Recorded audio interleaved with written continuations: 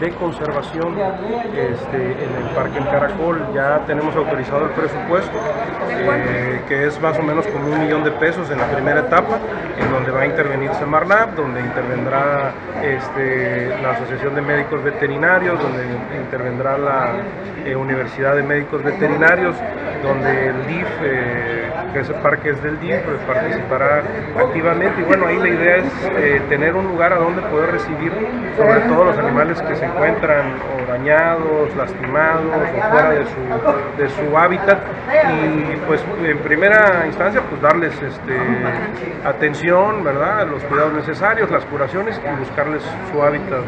Nosotros esperamos que esté este mismo año.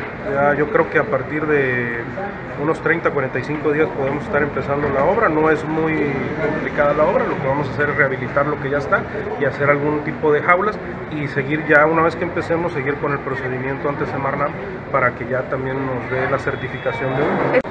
Así es, no nada más una, deberíamos de tener varias ya.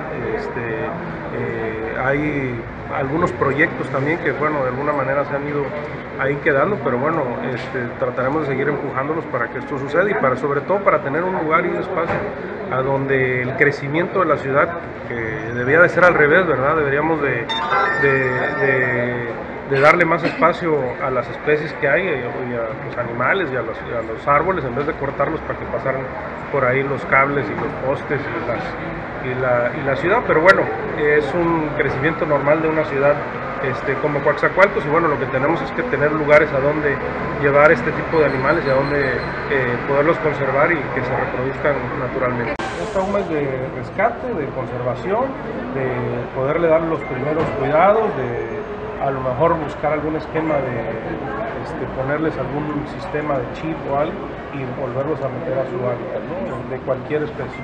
Podríamos tener ahí de manera este, temporal a cualquier animal, ¿no? Y bueno, con el cuidado que va a tener porque va a estar instalada ahí la Universidad de Médicos Veterinarios, donde bueno, pues estarán los maestros y ya también los jóvenes que ya van eh, avanzados y que de alguna manera